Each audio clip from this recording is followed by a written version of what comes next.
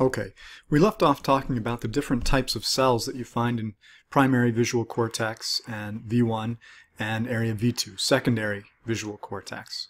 We talked about the LGN cells as well and how they have that center surround configuration. But how do you get these strange response properties? How do you how do you wire up these feature detectors that Hubel and Wiesel found in the cat's visual cortex? For example, how would you go from cells with the center surround kind of receptive fields, these antagonistic center surrounds, to the simple cells in V1 that prefer lines of a particular orientation or bars of a particular orientation. Let me show you. So in this example, you've got a monkey, let's say, looking at a vertical line on the screen. Now, all the input from the visual field is coming into the brain by way of the LGN cells, which have these center surround configurations, these center surround receptive fields. So the whole visual field you could picture being sort of covered up by these receptive fields. These ones right here in the center are on-center receptive fields. So the center is excitatory, the surround is inhibitory. And here you can see that vertical line that the monkey is looking at. And it's passing through the excitatory center of three LGN cells here. Those LGN cells send their axons to stellate cells in layer 4C of primary visual cortex. You could imagine those three cells then sending their output into a single cell. In this case, you've wired up a simple cortical cell that responds preferentially to vertical lines right here in this part of the visual field. You can also see it if you put a vertical line here it would hit the inhibitory part of all three of these LGN cells. So this would be an inhibitory section on either side of the excitatory section. This particular cell would be sensitive to vertical lines, but you could imagine another simple cortical cell wired up to receive input from these three LGN cells. That cell would be wired up to detect horizontal lines in this location. You could also imagine the same thing for diagonal lines, and so forth, and also lines of different orientations at different locations within the visual field. In that way, you've sort of wired up the visual system to have feature detectors for lines of any orientation at any spot in the visual field. You could then imagine complex cells, which have those larger receptive fields but don't have specific excitatory or inhibitory regions. You could imagine those being built up from the responses of multiple simple cortical cells. So for example, if you had a simple cell that liked vertical lines here, another one that liked vertical lines here, and so forth, you could wire up their output to feed into a single complex cell that would then be sensitive to vertical lines anywhere in its larger receptive field. In this way, the visual system can build up more and more complex response properties from the outputs of feature detectors, cells with specific response properties, at the next lower level. Another important property of the visual cortex, and of cortex in general, is that cells tend to be grouped together in columns based on their response properties. So for example, in visual cortex, there are separate columns, separate chunks of cortex that responds either mostly to input from the right eye, input from the left eye, or they respond equally to both eyes. These are known as ocular dominance columns, columns that respond preferentially to one or both eyes. We also have columns that respond to lines or edges of a particular orientation. So we've seen that you've got cells that respond to lines or edges of a particular orientation. It turns out those cells are grouped together based on the orientation that they prefer. This is showing you an example. So here you've got a section of cortex. Now the cortex doesn't really look like this, as you know. Uh, this looks like monkey bread or something, but so this is an artist's representation. But the artist here has graphically represented the edges of individual cortical columns. But of course you can't see the edges of cortical columns. They're defined based on their physiology, based on their function, not by anatomical landmarks. At any rate, you can imagine taking a microelectrode and slowly cranking it in to the brain and recording the action potentials of neurons that you encounter along the way. So for example, here's the path of a microelectrode as it was being pushed into the brain. You can see that as the electrode penetrates the brain and it passes within this column, all the cells have the same orientation preference. So each of these lines here is a spot where the electrode encountered a neuron, and then the orientation of this line shows the orientation preference of the neuron that it encountered there. When they probed each of these neurons, they found that each and every one preferred the same orientation, which is what you find within a column. But notice that down here, as the electrode passes across columns, obliquely across the cortex, as it goes through different columns, it encounters cells with different orientation preferences. So the cells in this column here have an orientation preference that's almost horizontal. The ones in the next column over have almost a vertical orientation preference. You find the same thing with this penetration here. As the electrode penetrates, it encounters multiple orientation columns, each one with cells that prefer a different orientation. So Hubel and Wiesel noticed this, and they noticed that the orientation preference changed kind of gradually as they went from one cortical column to the next. What they didn't know was the big picture, which was only discovered later using an optical imaging technique that involves shining light of certain wavelengths at the cortical surface of monkeys' brains and measuring the light that bounces back, which is associated with the level of activity in each part of the cortex. This is showing you primary visual cortex in a macaque monkey, and it's color-coded to indicate the orientation preference of different patches of the visual cortex. So for example, wherever you see light blue, like this, the cells in that column prefer vertical lines. Wherever you see red, the cells in that column prefer horizontal lines. You can see that all the orientations are represented throughout primary visual cortex here. If you zoom in, though, you see something even more interesting. There are these points, these singularities. They're called pinwheels. And around each pinwheel, all of the orientation preferences are represented. So all 180 degrees are represented in a circle around this point. Same thing for this point, and this one, and this one. You'll also notice that the edges of one pinwheel merge into the edge of the next pinwheel. We still don't really understand what causes this remarkable organization, how it develops in the brain. But we know that it starts taking shape even before the animal is born, even before it's seen anything. Getting back to this idea of receptive fields, we mentioned that they become larger at each successive stage of visual processing. In addition, their response properties become more specialized. What they respond to becomes more specific and typically more complex at each successive stage of visual processing. By the time you get to inferior temporal cortex, you end up finding cells with very complex response properties and with very large receptive fields, often the size of the entire contralateral visual field. For example, right visual field if you're recording from a neuron in the left cortex. These inferior temporal cortex cells respond selectively to very complex shapes, but they're often insensitive to distinctions, subtle distinctions like orientation and size, that are critical to cells earlier on in visual processing. Here's just one example. Here are some face responsive cells in inferior temporal cortex. You can see cell A here responds well to faces. On the x-axis of this graph here is time, and what you're seeing is a histogram of the number of action potentials in little bins of time over the course of a short period. The gray area is the period when a picture was presented, the picture right below it. In this case, a line drawing of a monkey.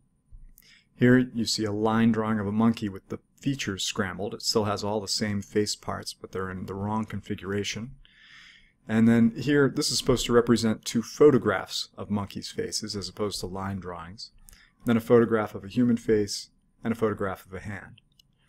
You can see this cell responds pretty selectively to faces, not interested in body parts generally, and even a scrambled face doesn't work. So it's not that it's just responding to uh, individual elements or individual features, but rather the, the whole configuration of the face has to be correct. This cell you could think of as being kind of a feature detector for faces. This neuron here has an even more specific response property. You can see when the photograph of the monkey's face is looking directly at the monkey, whose neuron is being recorded, the cell doesn't respond much at all. But as the face's orientation changes to be looking a little bit away from the observer, you can see the level of activity increase. And it has no interest in toilet brushes. So again, cells with very complex response properties. Shape constancy is the ability to recognize an object's shape, despite sometimes dramatic changes in the size or the orientation of an object. I can recognize my friend from 5 feet away or from 50 feet away almost just as well.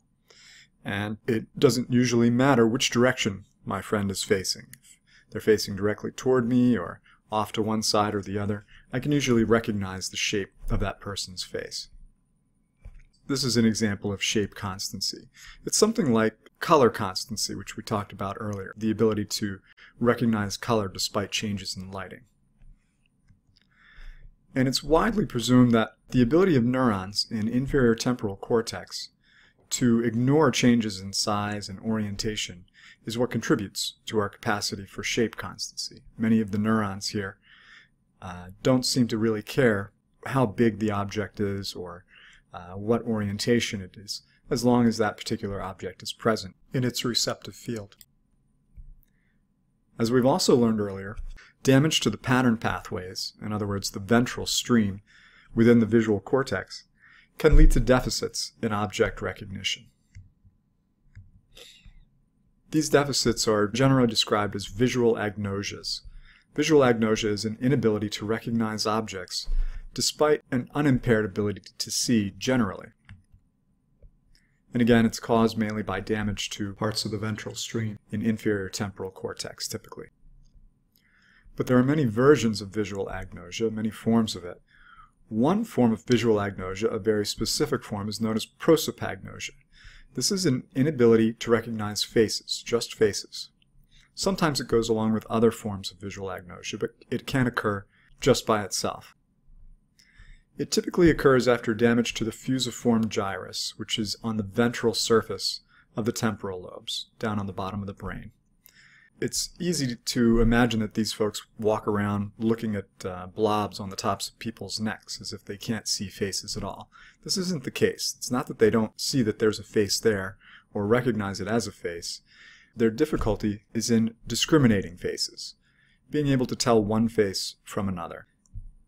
However, they can often recognize their friends and family by other characteristics. For example, the clothes that they're wearing, the way they hold themselves, the way they speak, the sound of their voice, uh, the way they wear their hair. There are lots of cues, visual and otherwise, to people's identity that don't involve actually recognizing the features of their face.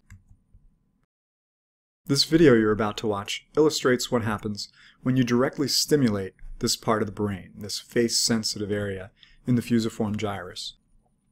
This is Nancy Kanwisher, a professor at MIT, who spent a good deal of her career studying what's known as the fusiform face area, a term that she gave to this area, which she first discovered using functional MRI in healthy humans. Functional MRI is wonderful in this kind of way that you can identify pieces of the brain, which I think also correspond to pieces of the mind. That's why I care. Um, and that's, that's a very fun enterprise. Um, but it has fundamental limitations. And one of the most important limitations is that it, you can't test the causal role of those regions. So even with all of this work, we don't know that if you lost that part of the brain, you would lose your face recognition ability. Or that if you messed with that part of the brain, you would affect face recognition. Okay, so that's a very important question you can't answer with functional MRI, but you can answer it with other methods. So I'm going to show you a videotape from a paper that was published just a couple years ago uh, by a neurologist, Joseph Parvizi at Stanford, working with my former student, Kalanit Grill-Spector. And so they, they tested this man, who's shown here in his hospital bed. Um, he has intractable epilepsy. So most people with epilepsy, the epilepsy can be treated with drugs that, that um, prevent or reduce seizures. some people are not responsive to drugs. They have so many seizures that they just can't live a normal life. And in that situation, the main thing you can do is try to identify the focus of the seizure, where it's coming from, uh, and take it out surgically. And that's, you know, heavy duty neurosurgery. Nobody wants to have to do this, but if that's your only choice, that's what you do. So this guy has electrodes all around the surface of his brain, trying to map out, he's in the hospital with these electrodes in, mapping out the location of his seizures so that when a seizure happens, they can see where it starts so they know what to do surgically. While he's sitting in the hospital room waiting for a seizure to happen, uh, some people in this situation are willing to let psychologists record data from their brain and run experiments on them. In this case, this guy was, was willing to have um, Parvizi and um, Grill-Spector um, put in a small electrical current uh, in part of his brain to test what, hap what happened when they did that. So they scanned this guy with functional MRI before his electrodes were placed in. They found his fusiform face area. They put the electrodes in. They then scanned anatomically, registered the data, and saw that two of the electrodes were right on top of the fusiform face area. Okay? So the question is, what happens when you stimulate the fusiform face area? And I'll show you. Just look at my face and tell me what happens when I do this, all right? One, two, three. Nothing. Nothing? Okay. I'm going to do it one more time. Look at my face. One, two, three. You just turned into somebody else. Tell me Your about it. face metamorphosed. Your nose got saggy, went to the left. You almost looked like somebody I'd seen before, but somebody different. That was a trip. Okay, I think that nails it, right? This is the this is the ideal experiment. This is the causal intervention. This is going in there and testing what happens when you intervene on that very specific part of the brain, identified separately with functional MRI. And what you see is it affects. Okay, so that video I think shows a couple of important things. First, it shows that this part of the brain, the fusiform face area, has a causal role in face perception. Secondly, it, it shows you an important principle of science in general and neuroscience specifically, which is that you always need a control condition. And as much as possible, you want to control for everything you can, except for the one thing that you're trying to manipulate. In this case, what you were trying to manipulate was stimulation of that face area. Hopefully you noticed in the video that there was a sham stimulation. So they flipped a switch, the patient heard a, a sound, and presumably was expecting something to happen, but nothing did. And then they flipped a switch, made the same sound, and something did happen. That sham stimulation, or that sham condition, is a kind of control condition designed to prevent the subject's own expectations and other psychological factors from influencing his perception. Now let's talk a little bit about the cortical mechanisms of color vision. Uh, we've talked about what happens in the retina, but now let's move on to the cortex. It turns out that in areas V1 and V2 there are these clusters of neurons that respond selectively to color.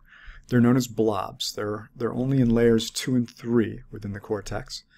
And these blobs send their output through parts of V4 and then into the posterior part of the inferior temporal cortex. Now, this area V4, it's typically referred to as HV4 or human V4 because area V4 was identified in monkeys. And in monkeys, it does play an important role in color processing. There seems to be an analogous area in the human brain that you can localize using functional MRI, but it's not clear if that area is V4 in humans. In other words, it's not clear if it's the fourth retinotopic map, which is where these names come from. There's some evidence to suggest that it may actually be the eighth retinotopic map within human visual cortex. At any rate, this color-sensitive area uh, may be responsible for color constancy, because in humans, damage to this area of the brain causes something called cerebral achromatopsia, also called cortical color blindness. Unlike color vision deficiency that occurs as a result of a genetic mutation of the photopigment genes that we discussed earlier, This is due to damage to the cortex. The eyes are totally fine, all the photopigments are intact, but here, the part of the hardware in the cortex that helps process color is damaged. When people first get this, they often report seeing the world very differently, and uh, they often won't eat because food looks very bland, and they have a difficult time perceiving any color at all.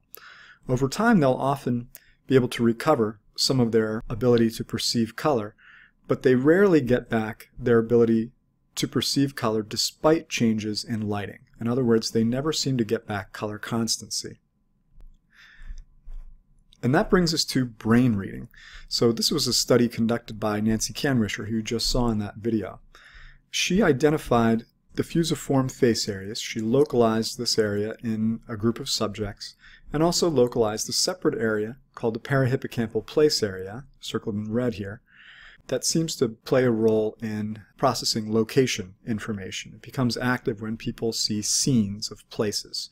For example, buildings or the interiors of buildings. And here you can see the fusiform face area right on the fusiform gyrus. So she localized these areas, and then she had subjects either view pictures of famous faces or view pictures of buildings on campus at MIT where the subjects went to school. She and her colleagues then tried to see if they could determine what the subjects were looking at based on the relative activity in these two parts of cortex. And let's see what they found. So here's just a few trials from one subject's study. And in red, you're going to see the response of the face area. And then the green line will indicate the response of the place area during the same period of time. The subject either looked at faces or places for 16 seconds each. So when the subject was looking at this first face, you can see that there was a spike in activity in the face area. Likewise, for each of the next two. When the subject is looking at faces, there seems to be relatively more activity in the face area. There's also quite a bit of noise in the data, but overall, the pattern is pretty clear. When subjects are seeing faces, there's relatively more activity in the face area, the line in red, and when they're seeing places, there's relatively more activity in this place area, the green line. It's not always clear, for example, this trial here, but overall they were able to determine with about 90% accuracy what subjects were looking at based on the pattern of activity in their visual cortex. You could think of this as kind of a rudimentary brain reading. You're actually able to know something about the contents of a person's mind by looking at the pattern of activity in their brain. In a subsequent study, they took this one step further. In this next study, they had subjects not look at faces and places, but rather imagine them. So they were given a word that indicated a specific famous person or a specific building on campus, and then for 16 seconds, the subject was supposed to imagine that person or that building. And again, they measured activity in the fusiform face area and in the parahippocampal place area. And again, when they were thinking about faces now, not looking at them, but just imagining faces, conjuring them in their mind's eye, the experimenter saw more activity in the fusiform face area. And when the subjects were imagining uh, buildings on campus, the experimenters typically saw more activity in the parahippocampal place area. Again, the experimenters were able to discriminate with about 90% accuracy what the subjects were thinking about, the contents of their mind, just by looking at the pattern of activity in their visual cortex. Subsequent studies have tried similar things, expanding the number of categories of objects to about a dozen, and also, with over 90% accuracy, have been able to guess the contents of subjects' mental imagery based on their pattern of activity in visual cortex. It turns out that imagining things generates a similar pattern of activity in the brain as actually seeing them. In fact, a very recent study has been able to read out, to some degree, the contents of subjects' dreams using functional MRI in this way. Okay, now let's talk about motion perception. The perception of motion involves activity in a variety of brain areas that occupy all four lobes of the cortex, but there are a couple of areas that are of central importance.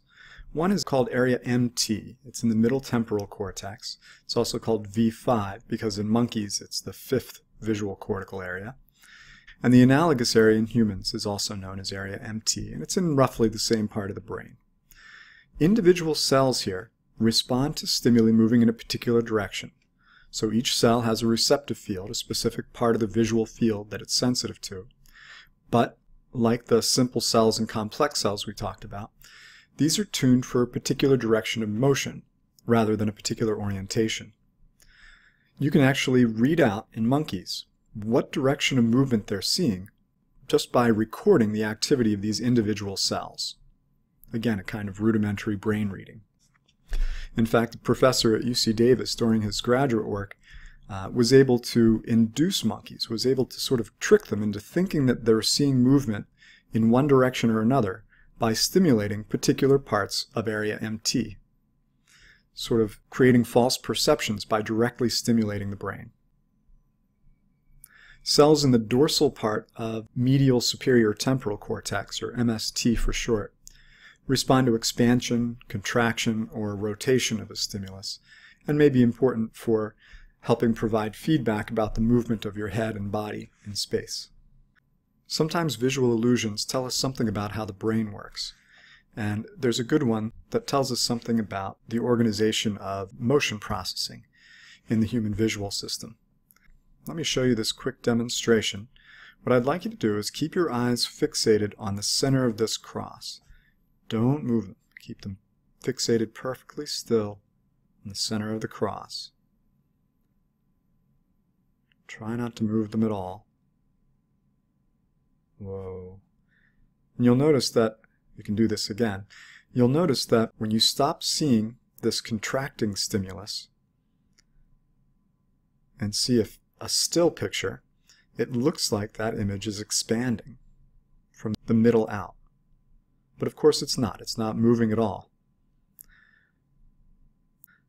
Just like when you stare at a colored image for a while, you can see a negative color after image. When you stare at a particular direction of motion for a while, you can see movement in the opposite direction once that movement stops. Here, this inward movement, this uh, contracting movement, becomes an expansion when it stops. And the explanation for this is somewhat similar to the explanation for the negative color after images. In area MT and MST, we have neurons that represent movement in specific directions in a specific part of the visual field. When those neurons are being activated for a long period of time, they become tired and they tend to be less active when they're no longer being stimulated. As a result, the population of neurons in the chunk of cortex that represents that part of visual space has relatively more activity in the neurons that represent the opposite direction. So you tend to see movement in the opposite direction of the movement that you've been habituated to. If you follow this link in the slides, you'll find another fun example of this. Now, we're going to try this again, but see if it transfers from one eye to the other, okay? So what I'd like you to do is to cover your right eye and just look at the center of that cross with your left eye. Keep looking, keep looking, keep looking, keep looking. But now, when the scene changes, what I'd like you to do is flip back and forth between the two eyes and see if you see the opposite motion with the other eye that was closed. You should find that you do. You should find that this effect transfers from one eye to the other. There is interocular transfer. That tells us something. That tells us that the effect is occurring after the input from the two eyes has been combined. And that happens very early on in visual processing in primary visual cortex and secondary visual cortex, well before most of the input has gotten to area MT and these other motion sensitive parts of the cortex.